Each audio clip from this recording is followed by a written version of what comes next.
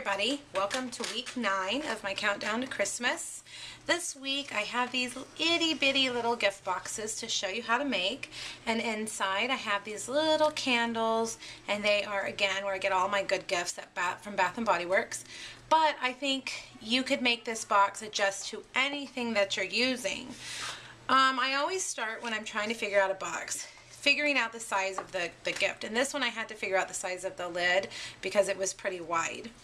Um, and so when you're making a box, when you're trying to make a box, you start with the square. And I this one was I needed two and an eighth inch square, and then every square on the on the other sides of it was going to be two and an eighth inches by however tall. And this just happened to be two inches tall.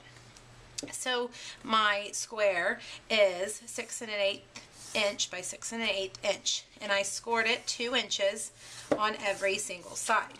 Then I went back to make the little flaps. Let me show you. And I just did a quarter of an inch, so here's two inches, and actually four and an eighth inch on this side. But when you turn it, you do two, two, two, and two. So now that I have it in here, I'm just going to go a quarter inch on either side of that score line. Okay, whoops to make the little flaps like we did uh, two weeks ago on the, the soap holder.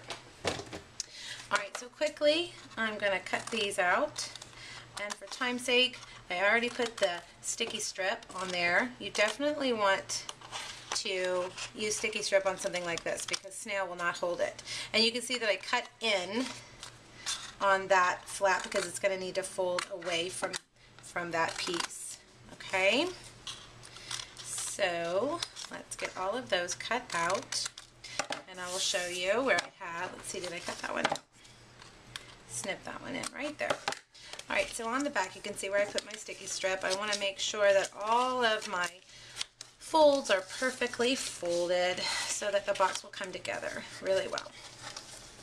And actually, this is going to be the front of the box because I wrote on that side. So let me refold these this way. But when you make when you make yours, you won't have to worry about that because you won't have written on yours. All right, so let me take these off.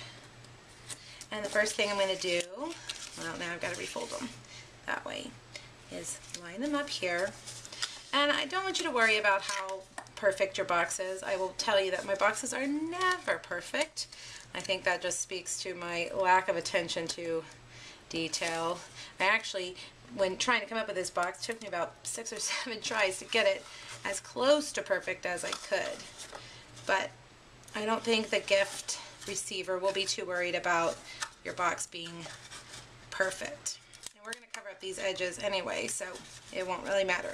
Alright, so there you've got your box and your little thing fits down in there. To make the lid, you're going to need a piece of the same color. This one is Marina Mist, this is Old Olive, and this one is Real Red. Use whatever. I've tried to, you know, kind of make it go a little bit with a candle.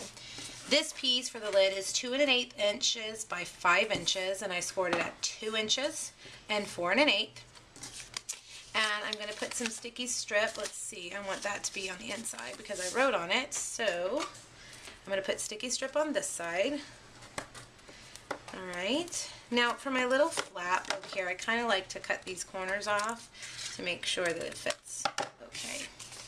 Alright, now before actually, before I do that, I'm going to take, and you'll see why in a second, this label bracket uh, punch, I believe is what it's called, and I'm going to try to get it as close to center as I can, and I'm just eyeballing it, but if, if you really want it to be perfect, get your ruler out and measure and put a dot in the middle and you'll be able to get it. So see, mine's pretty good. Alright, so now I'm going to put this right in here and push it down. And this, so far, is how the lid will close. And you can see, not perfect, but we're going to use a bow, we're going to hold it together, and it'll still be cute. Okay, so now we need a piece of window sheet, and this piece is 2 inches by 2 inches, okay? and I'm going to put it right in there and I'm using the Tombow um, multi-glue and I'm just going to put a dot there and there and there and glue that in right like that.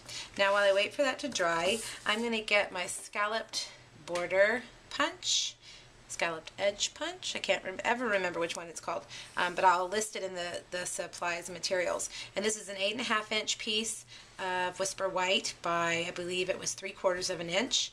And I have put sticky strip on it. And I'm going to start right here at the edge and just cover up any inconsistencies I may have with my lining things up. Make it cute. No one will ever know. All right, there we go. All right, now I'm going to use this little stamp right here. And I wish I could remember what the name of it is, and I will again write that in the instructions. But I'm going to stamp it this time to match my box, Old Olive. Punch it on, or stamp it on Whisper White. Stamp first, punch second always. And punch these out. And I'm going to use a dimensional to put it right on top of my candle. And it'll be like that, okay? So you'll see it through the little window.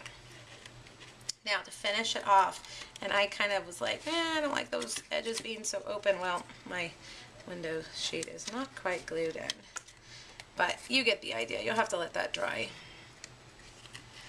Alright, then I'm going to take a piece. This time I'm trying to use um, ribbon that coordinates. This is Old Olive taffeta ribbon. On the other ones I use Cherry Cobbler um, seam binding and the new silver ribbon that's in the holiday catalog. Alright, so I'm just going to kind of tie a bow on here to make it look a little fancier. You know, it's a pretty simple box for a little gift that was, I think they were three for $10, pretty cheap. But it makes a nice little gift to let somebody know that you're thinking about them on Christmas. Alright, so there you have it, all three of them. Aren't they cute? Alright guys, well I hope you've enjoyed this project and I will see you next week. Have a great one. Bye-bye.